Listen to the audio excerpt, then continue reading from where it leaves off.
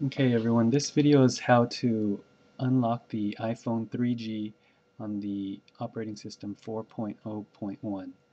First what you'll want to do is go into your settings and enable your Wi-Fi right here. You'll then want to open Cydia once you have a Wi-Fi connection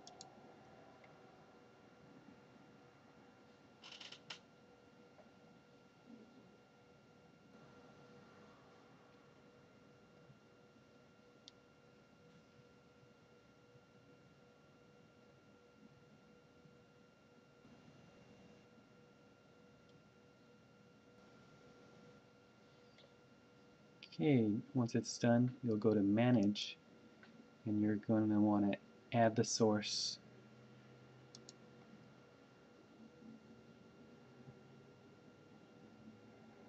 Go to Edit,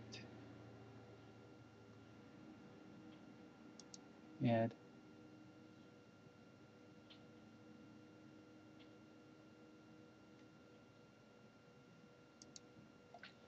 This is what we're adding.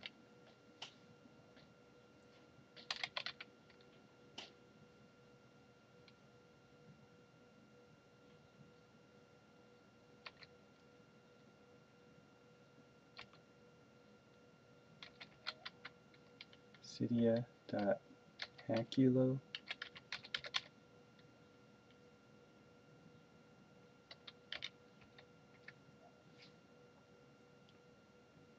and add.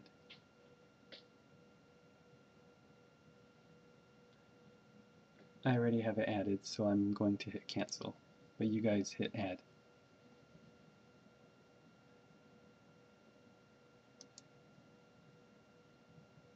Once it's done, you'll go to search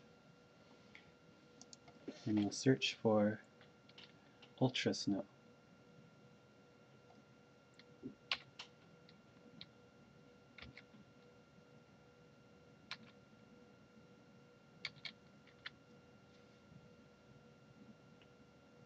And there it is.